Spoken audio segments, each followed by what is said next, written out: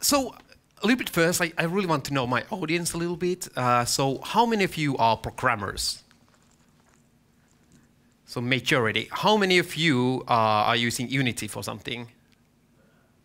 Okay, so quite heavily. Good, good, brilliant, because that's really my turf on Unity and all of that. So how many of you are non-programmers but would love to make a game someday or are making games? Brilliant, because this is also for you as well. So we are not in there yet where like anyone could start and make their whatever MMO game, but that is hopefully something that we will eventually get into. So um, I'm going to talk about smarter tools. So like smart tools is not really a term, but it's more like okay, um, if you think about like you know uh, tools that will help our life and and take a lot of like uh, stress about the production out of from us. Uh, so they are like some most of the smartest tools are like uh, something really automatic, like build pipelines, importers, that sort of things. But also like these tools that uh, remembers for you and like restricts you a little bit, like gives you like a framework to work so you don't, you know, break something at the same time. So uh, just a quick uh, recall about myself. Um, at some point of time, I was like a little kid and uh, I was like, video games are really cool. And I have this like Commodore 64 computer. And I, I really wanted to make games. And I, I got this like basic uh, book about like, you know, programming. And so the first things I did was like you know text-based games, and then I really wanted to do graphics at some point. I want to have sprites because I saw like there are there are games that has colors and things, but I had no idea how to do that. So I had this like piece of like I have pieces of paper with like you know grid on it, and I was just filling the the pixels in the grid and figuring out where would the, some colors be and all of that. And eventually I made an array of that, and that was the way I get like. Um, sprites the game and graphics.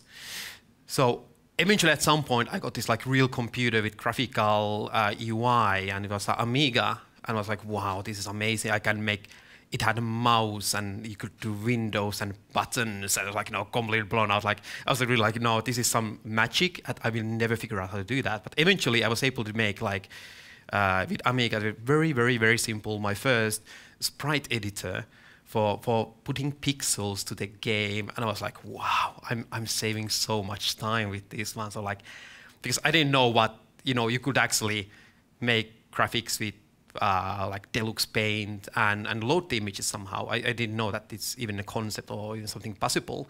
So for me, it meant like, you know, wow, I'm saving like, like a half a year of work doing this like I can click pixels uh, with my mouse, and, and these tools were awful. They were horrible things.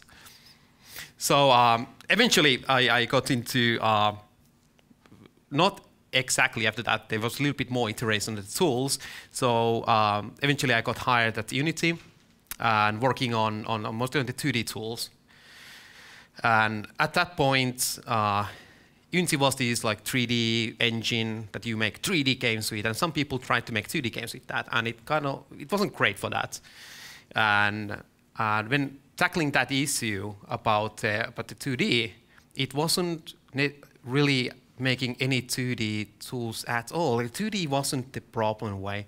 It was more about the accessibility was the problem, and and the tool automation and the tools were like dumb in a way that what you the people wanted to create with that because the things to solve was not that you could put sprites on the screen but how could you make games easier with unity because for most of people like 2d games are the first games that you ever do because that's like it feels simple it is like you know that's what you want to uh, uh, you know, start working and fiddle with that. So the focus was how we can make it accessible, but still you could go a little bit deeper. So even doing like simple things that you can, you can take a, uh, a picture and drag it to the game and it comes to sprite. Or if you take five, take five pictures and drag those, it will become an animation. Or a little bit more smarter stuff, which is tile maps. So you can uh, select a tile, you create a brush out of it, and while you are actually painting the map, let's say you're painting a road, so you make a, a vertical road, horizontal road, and when they intersect, you want to have a different sprite in there. So that's already that we are doing a lot of things behind there than just putting a single sprite. We have a little bit of logic there behind what is happening. So eventually we, we at least we thought like our team that we, we really nailed this Unity 2D, but at least it's used in quite a lot of games. So um, then we moved actually uh, part of our team into uh, working on Ori, uh, Ori and Blind Forest and Will of the Wisp uh, game series, and that's uh, like this 2D platform game uh, from um, from um, Xbox and, and PC. But what is really brilliant was that is the, is the team. The team was super super tiny. So I think the, at the original Ori, uh, we there was only like roughly like seven. I think it was seven people working on that. And by the will of the wisp, I, I think it was expanded to, to, roughly 20 people or something around that line. And it, it was really like blown away, like uh, how the tools were designed for that, because it was all about that the whole team can produce everything from the start to finish and implement all the stuff. So the programmers were mostly just kept away from the production in the way that, you know, the programmers are like, you know, you're a different breed completely. Don't mess up our game. Let's you know, let the people who actually understand what games are and what is brilliant about it to actually create it. So and after working on those, we decided that okay, uh, we have this really tight uh, like this uh, tech tools team formed up like from Unity and going through different productions. So let's work with this company that was making this downward spiral game. And the idea of that game was that they wanted to explore this like the, the VR area and make a game for like there's like a single player and online co-op story modes and it had to work with all possible platforms like uh, PlayStation VR and Oculus and and Vive and without a VR head and all of that stuff. And other one was that the game should be able to be done without any programmers. So only the artists and designers should be able to do that in one year of time and with a team of six people. So that is like going to be like quite a big part of the talk that I'm going to talk today, and like how like all these tools uh, were coming together. Um, by the way, uh, the timer, can I get that rolling? Is it working? Okay, good. Not right now, at least. um, so anyway, uh, so what we can figure it out, like while working, is like what we really want to do is this like this power to the creatives. So uh, that was just the idea that if you are an artist or an audio engineer or whoever is that is producing content, you should be able to to create that and implement that. So you should never have anyone in between there. And that is something we're seeing quite a lot in, in these companies that there's these kind of gatekeepers and especially in small teams, that doesn't work out. If you're a larger production company, then yes, then you have these production lines that are completely designed different way. Uh, but as a small teams, uh, everybody needs to be able to work directly in the game, and they should never be uh, buggering anyone else to do do something for them to actually to implement what they need. So uh, anyway, like I say, like you know, smartest tool uh, are like they are like the invisible ones that we never see, we never think of, and like all the modern game engines are really good examples of that because these are like you know import pipelines, uh, light baking, uh, build automation, something like you know that the engine knows that uh, how the textures need to be compressed to a certain platform, and this awful looking thing in here it was like one of those like problems that uh, we noticed that uh, one of the productions had that there was like big levels that where the artist needs to work and they were using Unity's this light probe tool. It's like you have to put these like spheres inside of your game level and arrange them around and the editor actually do, like doing that is completely horrible. So it was taking a tons of time for them to actually work on that. And other one was being the, the scenes and the levels were changing places a little bit. They needed to actually update those light probes around and doing lots of like manual work to make it happen. And only time we could actually detect that they didn't work was after the, all the build process and all of that was uh, went through, and it was like an hours and hours of work. Then it's like you know, eventually you know, like ah, oh, there's something broken just in this area of the game, and it takes maybe on playtesting like uh, six, seven hours to get in that point, which is completely useless. So eventually just we made a simple tool, well, simple tool, to detect uh, what is inside of the level, what is outside of the level. And based on that, we have a little bit of heuristics on like where we should we put all, all of these spheres around. And eventually that is then automated that when the builds, uh, build system starts going on, then we will see like, you know, it will just put these things in the right places. And if they are a little bit in wrong place, eventually uh, we will just fill, with the wiggle with some uh, heuristics, or we will add some manual uh, manual spots to uh, to figure that out. Uh, so otherwise, like about smart ones is like everything that is context sensitive. That is all about on tools that it, they need to help you uh, on doing your your daily work. So one is like you know when tracking a image. Did I have, did this have laser? I don't remember It does have laser. which is like the laser button properly. Yes. So, so when the user is tracking an image uh, to a wall, depending on the what is the base material, and this one is much glossier, this like metallic surface, so it will gain uh, all the like properties from the surface. And when it comes into this textile side, it actually gets more matte, and the lighting changes, and it changes everything, like how the materials work. But then again, when tracking a font file, we can of course know like, oh, probably the user wants to add some text into the game. So we can, okay, let's create some stuff for the user so you don't have to manually create components and that sort of things. And eventually, uh, there's a group of tools that are more like uh, also context sensitive, but same time, like they're content sensitive, that they know that how the content should actually work. So in this case, there's this, uh, what is called a nine sliced image that has a little bit more information like normal maps, height maps, metallic maps, and that sort of things. So when scaling it up, we don't actually scale the texture at all, but instead, instead we will repeat the, the middle parts of the texture. So eventually you can like have a painting with the frames and what is inside, inside in there. And these are already something like they, they will get your like production speed and iterations much, much faster because it means that uh, you don't have to install, like, let's say, uh, 3ds Max, Maya, Blender, or something like that to do something in your level. You just, you know, throw stuff in there, and then see like what actually works and what doesn't work.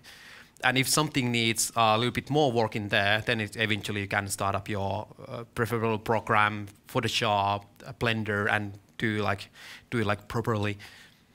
So, um, and this is also like something like pretty much everyone on the team can do. Like as long as you know the basics of the Unity and you know a little bit of the tools, you can start building the levels and put some clues, put some tough stuff in there. So it's kind of like really easy to approach on that side. So anyway, uh, so I've been working on a, a lot of different studios using, mostly using Unity, but other engine as well, like Unreal and whatever. And there's this one thing that really blew my mind is that, especially in small studios, there is this this thing happening that uh, I noticed that um, it was quite common when I when I talked with the studios how about the processes and what is like lacking. And uh, at some point, I was playing a, one game and mentoring a team and asking like you know like what is happening with the audio. Like there's no sounds at all in the game. And I understand like you know sounds are usually added like really late process, but this was like a really late process already, and there was no like no like sounds at all. And I asked the programmer like what is the thing like you know uh, you know, I ask someone and say like, yeah, you know, I just haven't had the time to implement the sounds. So he had like this bank of like audio engineer has sent him like 500 sounds in a zip file, and it was his job to implement those into the game. And that was like, I, I couldn't like figure it out, like you know how we could be in, in game studios in that sort of situations because it means that you have your your deep sea diver that is like the smartest guy in the whole company maybe or it's, it's your like most highly praised asset you have. It's a c++ programmer that can make a whole engine and all kind of things and his work is implementing sounds. And that started me thinking like maybe this isn't the best way of like using your resources on the team.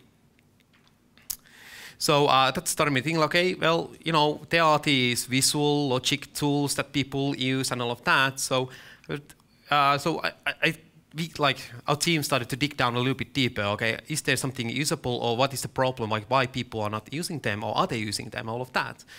So uh, on the Twitter, I, I noticed this picture at some point, which is pretty much like uh, how people feel like what visual programming is. It is this uh, spaghetti that nobody understands.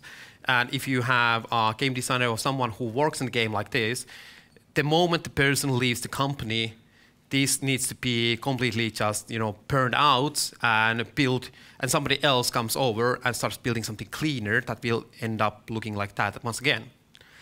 So uh, eventually, what we wanted to have is like the spaghetti-free, maintainable uh, with the performance, and maintainable meaning that you know you could somebody could actually uh, look at what is happening in the game, uh, but also uh, maintain it. So I mean, like you know, change it somehow. So um, of course, like I was like, well, we make tools. So like, how hard can it be to make a, a complex logic system with all kind of these things to make super generic games that everybody be able to learn, and it appears it's it's really hard. So uh, the first thing was like uh, we were like thinking about this whole process was like uh, going from the simple to complex. And this is more like, because as human beings, we all learn a slightly different way, but in the same time, like there's a lot of these things, like we learn, we have these certain steps. So there's like, we will forget with a certain rate. We will remember things uh, in a certain way, and we also will learn things in a certain curve. So we have to think about a lot about how people learn. And because right now we have this problem that we have artists and designers that needs to learn to make game logic and they don't think like programmers think because programmers think in a very specific way. Like we, we have to think like you know how programming languages work and how that actually relates to computers and how computers work. So we have to get rid of that mental model completely. And also like how do we introduce these things? Because we can't uh, make up a lot of new abstractions because these are people who sometimes come to the tools and sometimes do some logic, but most of the time they do something else. So every time that they come to these tools, uh, we have to follow certain design principles that they are, are familiar from other tools and they don't need to think of new abstraction, abstractions. So uh, we, we started to like you know uh, decided to approach this in a Lego way that you know programmers create the Lego blocks that are interconnecting blocks with with certain style, and eventually they think like you know like everybody uses that even the programmers uses these blocks to to create the game and. And with the basic blocks, you can like kind of like block out the whole game, like what the game is going to roughly be about. Like you know, at what point is there some sounds playing or we are loading some levels and whatever is happening in the game. And eventually when it comes to like these game specific things, like let's say like it's going to be a Star Wars Lego game or Egyptian Lego game. So then you start crafting those very specific blocks to the system.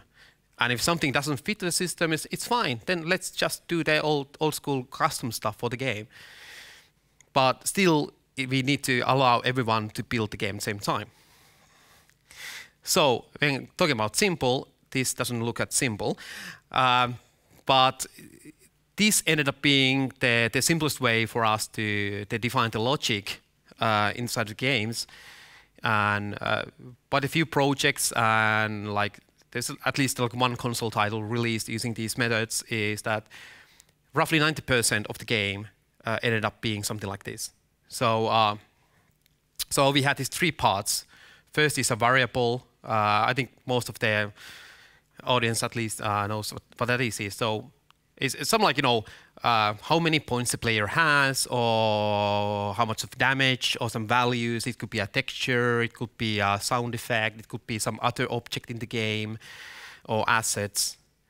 And the next one is the classical if condition on like when do we do something? Is it on a collision? Did the player press a button? Is player's health zero? Did something else happen? did it take 60 seconds uh, since the game started? And eventually we had very simple list of kind of like verbs. what is happening then. So we have like add points, destroy, animate, wait for one second, play a sound. Because these are like these things like, you know, that is like the dirty stuff when doing games and most of the games are something like that. So you want to have a, something reactive from what you are, what you're doing. Uh, so for like for the teams, uh, it seemed like, you know, this was like when they were working on Unity otherwise and adding content in there, this, uh, this felt like as an editor, it felt like for the users to be uh, pretty same that the rest of the Unity. So there was no new abstractions. Some simple click, click, clicks. I will add just wait command and that sort of things in there. So it was really easy to do those things. And same time, we noticed that okay, now the balance in production is also really changing because now uh, the program, like the team has just one single programmer, so the programmer actually has time to figure out other systems and other problems of the game and it freed a huge amount of time for the whole production. So uh, we started even more simpler than this one on the website, but eventually we noticed that okay, uh, the people wanted to have a little bit more like details and going there, like tweak a little little things in there. So then we started supporting some a uh, little bit more on on the editor. So like you could define uh, curves, some behaviors for these ones, and eventually and you know, it started to be like, okay, now the people can go a little bit more into detail, but still they can start simpler. And then when they feel ready that, okay, I want to explore something a little bit more complex, that's like, then they can learn in their own pace. But like approach like this one is, is good for like these reactive things. But when you have to like do a decision, like did the player press button A or button B, then it's a different story already because now it opened up a lot of issues and a lot of problems. So uh, for that, uh, that was like the next iteration while we're working on, on the on the productions was to that you can upgrade this simple thing into a, a graph. So eventually it's like we're just showing this very simple graph as a list. So this allowed us to to make a, like another step for, for the artists that I've been working on, on this simple list right now. Okay, now I'm ready to go into this a little bit more complex mode. And that's the moment you can go then there. Because uh, there's something like when you start defining logic, you always think that the issue that you're solving is much more simpler than it actually is. Because in games, we are always creating something new. And it, when it's new, it means that we don't know something, anything about it, or not much unless we know some about something, the more naive we are about like the like the problematics of it. So quite commonly there was like this situation where you start doing something simple, but eventually it's like, yeah, but I actually need uh, some sort of graph or something like that for, for solving this issue. Uh, so about the spaghetti side, so uh, this ended up being uh, one of the most complex uh, these graphs in the game in the end, which was kind of like I was kind of surprised. I was expecting to be having like something even bigger and something like that, and was kind of like disappointed. So I was thinking like, you know, like man, like the people didn't really utilize the system or something like that. But when figuring out like you know how when using uh, tools like these in real uh, in real life, then uh, it seemed like this was actually really well balanced. So on this one, uh, every one of these nodes, when you select them, uh, you get into these more into these details of like what actions are done and how we figure out like what is happening in the game. We should be transitioning like another kind of like a state? It's not really a state machine either. So it was good thing like you know you could easily see the overall uh, what is happening in the game, but same time going more into the details. And at that point, uh, this whole thing became kind of like the teams, the, the common ground where everybody was discussing about because the, the audio engineers, the designers, the artists, and programmers, they all worked through this tool eventually. So when they had a problem, they had to discuss something, something, so they could actually use this as the as the reference for for everything. So they just, just go in there, and they could have a pretty proper discussion on how to solve these different issues. And and that was really brilliant because they, that solved a lot of the communication issues we normally had with with artists and programmers. Uh, because uh, what is really common is that okay, like the modelers, uh, artists easily use really high-end, uh, complex software, uh, like let's say like 3ds Max, and there's a lot of these concepts, and same these concepts are they're still in the game engine as well, but they just named differently. So we had constant this battle of like you know that the programmers understanding really talk each other that well, but when they had this some sort of like visual basis where to talk about something, they it actually was uh, much easier on that side. So, and I think like an audio engineer, he he fell in love in this whole system, and he he generally jumped in there and started modifying the the game logic to fit much better for the audio. And that was a big thing for us, like that the, the whole team was properly utilizing it and changing the logic so it can fit a little bit more in there, like like having some sound playing before the action, just like you know so like 100 milliseconds before something happened to have a just this exact script like uh, clip and then after something else. Um, and eventually this okay this like you know whole progress like you know, we, we were learning while we were building a tool and it was actually brilliant that you know we had this kind of an idea and you know okay we we gonna solve all kind of things and we gonna cause all kind of different kind of problems and but this was one of the coolest things. Uh, so after we went from that list to, to upgrade this graph, uh, all the all the actions and comparisons, all the, the problematic side is in the graph. So only thing we were left was a list of variables that we linked to the graph. So then it, it really hit to us like, oh, we can actually share these uh, between the game all around and it actually feels more like the traditional way of like making these MonoBehaviours, these components. So it's kind of the same thing like uh, because previously uh, the split was that the programmers create the components that the designers all use, but now we can like you had these coroutines and all of that, or your own frameworks for like running something in there, like waiting and playing audio and that sort of things. But now we we made the split where the scripting is done in a slightly different place. So it meant that the designers and artists were now creating components, and uh, that was really like I was really into like wow, this is this is something new. And eventually, like we could use that one single graph for all the weapons in the game. So by just changing uh, the attributes we are using in there, like so let's say like if we want to change the the, the overall behavior or something, uh, we would just say, say like you know okay, this gun is going to have a different uh, different bullets when it shoots. Uh, they're going to the the barrel, the end of the barrel is going to be in a different place, and defining the shells. Uh, how many, how much ammunition is there? What is the maximum ammunition, and that sort of things. So this ended up being like really powerful tool for for the whole team to to create the game, and then we started to really to well, the team started to use it for everything. And these kind of like became a little bit of a problem as well. So it was super powerful. We even used it into like the test framework. So we have like build pipelines and we are doing all the smoke tests, performance tests, even feature tests using this system because we can have like, like a list of simple actions that are just running in there. And we don't have to think about much of like, you know, uh, coding them. We can just like, you know, slap them together. So it's really fast to create those things. And, but then we started to have different problems, and one, is, of course, is the performance.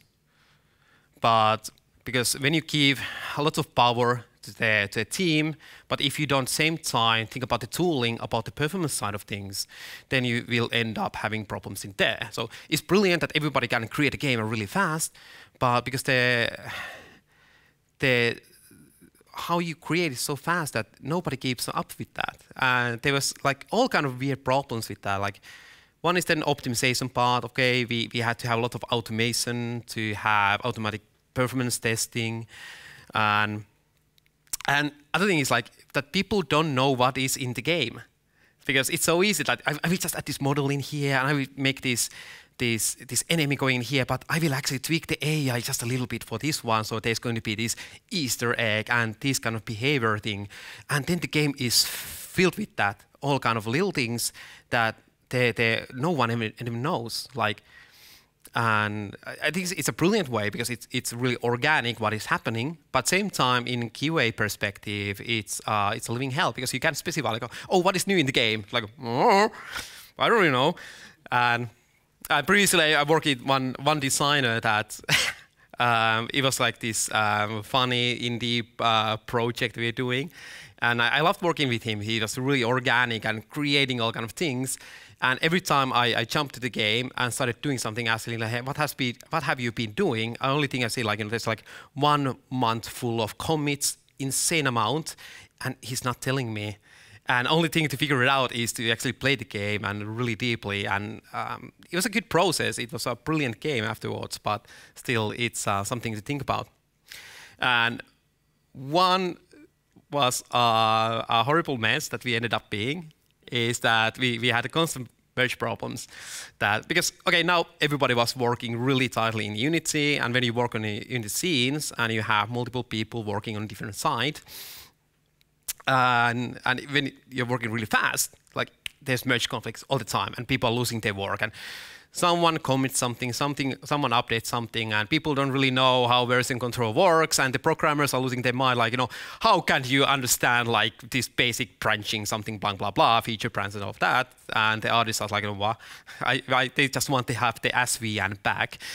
So, um, so this became a huge issue, and at some point I started to really feel like, okay, we are actually losing uh, a lot of like the cute parts about our fast tools, because we have so much of merge conflict other things happening that people are getting uh, really pissed off. So like, uh, because they're losing today's or one hour job at some point.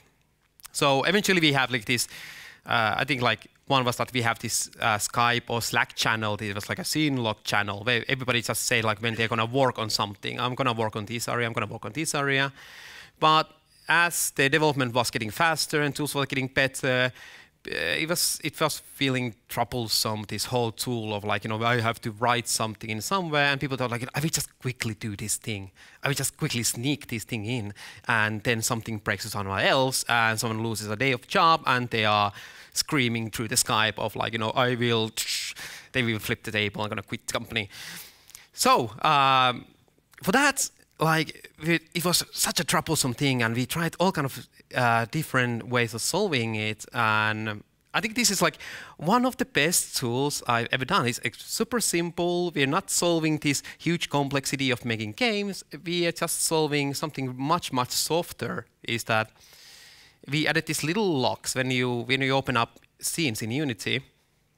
So with this simple lock that we, you just click, and the other all the other users will see, oh, somebody is working on exactly on this area. And it's like non-intrusive, very soft communications between the team. Because when you have a communication problems, then the best way of fixing that is to remove the communication uh, completely. So there's the whole need for communicating. Okay, well, you have to still communicate and click the button. But still, uh, this ended up being uh, really brilliant. And what happened there, like, you know, I, I, felt like, you know, we felt like, you know, hey, the team's overall happiness just increased a lot. People were much more happier. They didn't, they were like less stressed out because there were certain things that, you know, didn't mess up their, their daily, daily work anymore. And that really started me thinking like, you know, uh, exploring a little bit more about this side of like, hey, what gains are there in this soft communication side? Like, like that you can show like when you are working at Unity, you can see real time that you know where some scene, someone is working on the scene. So like, it, okay, that's, the person is there, there's the name, maybe a little avatar and the, the scene camera and other user is, is working there. And even this already started to feel like that I'm not working on this game alone. There's a lot of us working here at the same time. So you started to gain a lot of these uh, these different kind of information that affected your workload. Or like, like, oh, that person is working in that side. So actually, I will just move to that side of the game. So you don't have to poke anyone, stop anyone from working. And it becomes more like this hive mind that knows that the game needs to be done. The game is shaped like this, and it needs to have all of these things. And I will just go, okay, I will just go there, do my stuff, commit that, and then you look, like, hmm, okay, there's a free spot. I will go there and start working on that one. So it just took a lot of stress and uh, and like lots less process, like from like you know these all these nasty process tools. We could like, leave it on. Oh, that's fine. Um, so uh, anyway, like uh, like I, we noticed that in the team, like when everything is rolling very nicely, uh, eventually like the team is happy, people have better work-life balance, and in most of the cases it's, it's just like you know uh, removing few like button clicks and these can be like really uh, big things in tools uh, mostly like there's this like you know there's this one extra button click that somebody has to put do but when you do it in like you know 200 times a day and the button is just like three pixels too small you you know you really start feeling it. And so you don't feel like you know I don't want to go to work tomorrow because there's this like just you don't even know why you're irritated. You're just really irritated about something. So it comes all down in that um, so in the sugar in the bottom, if you want to try the tools or if you want to use the tools, get the tools, fiddle around with the tools, uh, do something with that. Um, we have a bunch of tools that we've been doing on that URL, and those are free. And we are open sourcing most of the stuff that we have right now. We decided to uh, let's just give it out free uh, for everyone.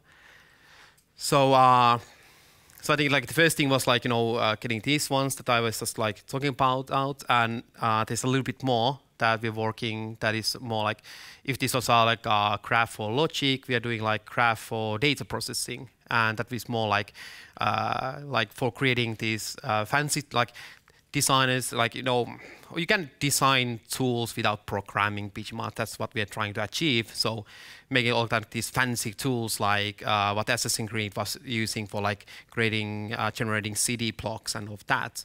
So uh, more like the data funneling but in a way that uh, we can get the power for for the designers and uh, technical artists instead of the programmers. Um, so this is pretty much my, my talk for here. And, and I think we have plenty of time for questions now. Okay, all right, I see someone over here. Here we go. Um, well, thank you for the talk. I really appreciate uh, your initiative to open source your stuff. It would be nice to take a look at it. But I also have a question the sort of history that you described about the evolution of your tools and the problems that you faced is quite generic actually. Everyone has these problems. Yeah. So uh, i noticed one uh, advantage of your uh, tools which is visual content locking.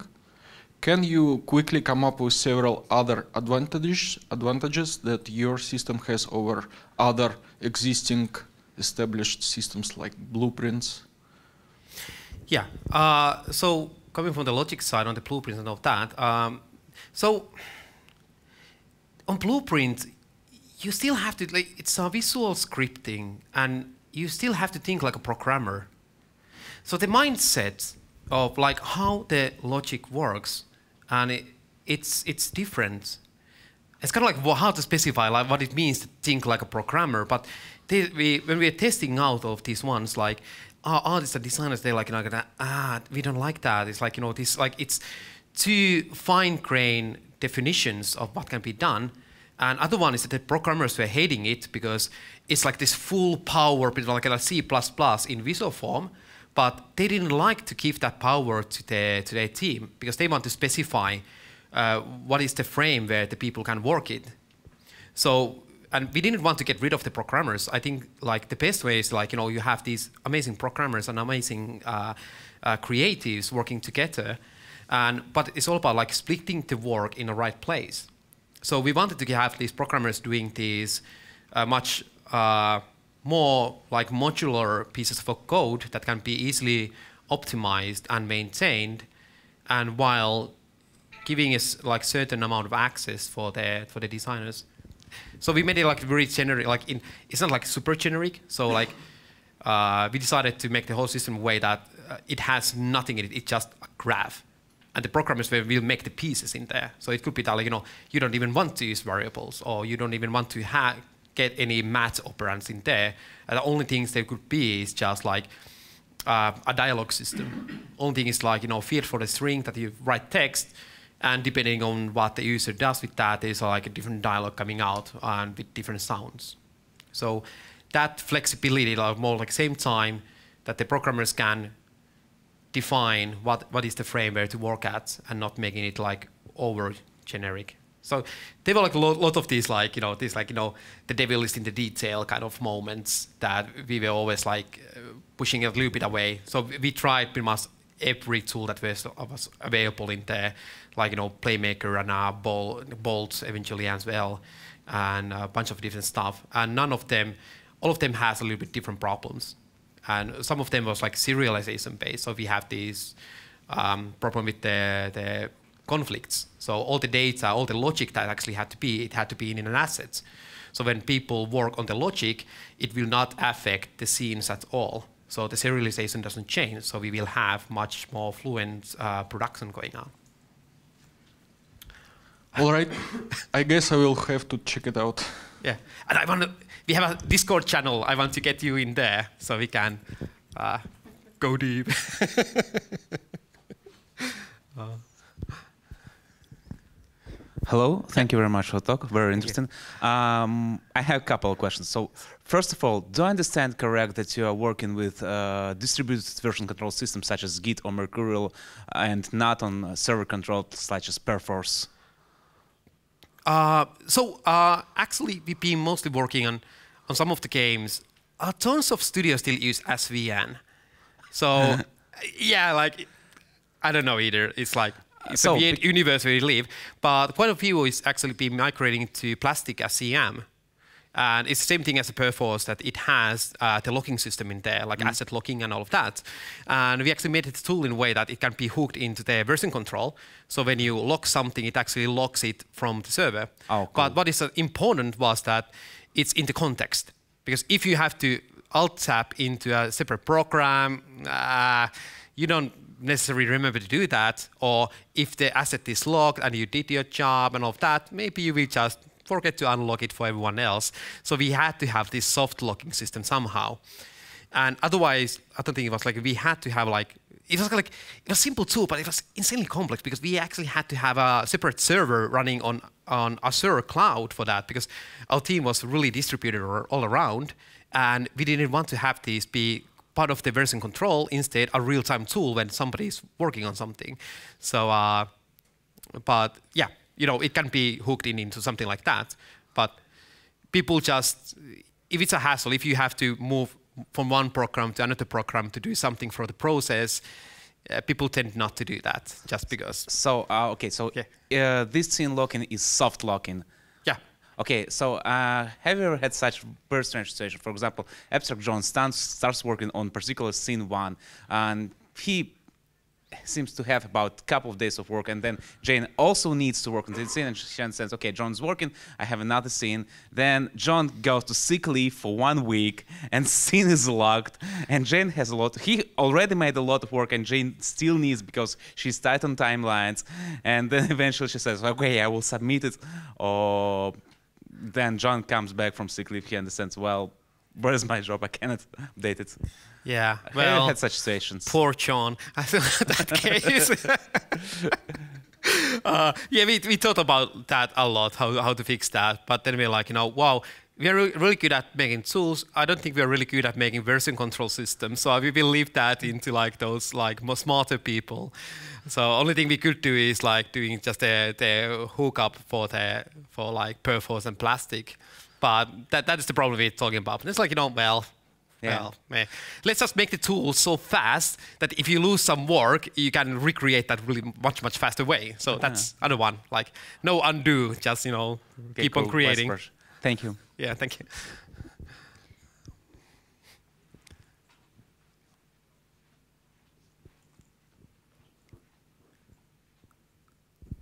Thanks. That's a, a, really great talk. I think the um, decreasing the click count of common actions is something that's really close to my heart, um, something that I really like doing. Um, when you were like deciding what you wanted to make faster for the designers to do, you know, one click rather than 10, how did you sort of prioritize which things to make faster? Did you ask the designers? Did you have like telemetry from the tools, like this designer is spending all day using this specific menu? Hmm. Or did you just basically just talk to them and ask them what's important? No, the problem with the all the information is always it's uh, it's filtered. If you ask someone what is wrong, it's filtered. They think that this is wrong, and usually they have already thought about the solution, and then they're telling the problem from the perspective of what the solution is for that.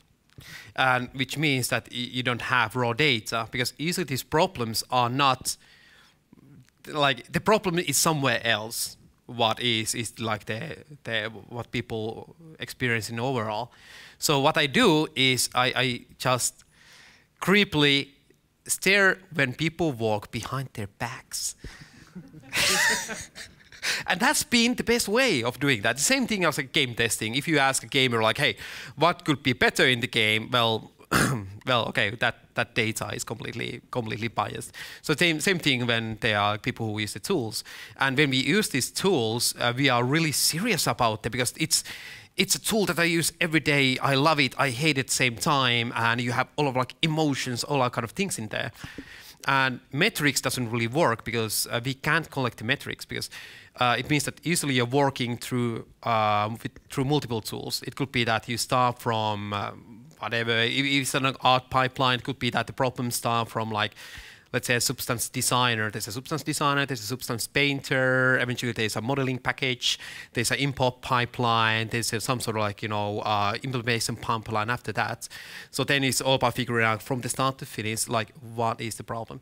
So there's been some, actually I was just talking today, uh, one of these like really classic problems with the 2D games is that people use Photoshop most of, like commonly to ma- make 2D art. So we they actually make the characters, they will layer it up, they will split the character nicely. So they can test like, you know, uh, if there's a piece by piece animations or like, you know, a skeleton animation, like what is the anchor points and how they move. But usually when you get those to the game engine, these are separate pictures. But you already defined what is the hierarchy and what, what is the anchoring positions.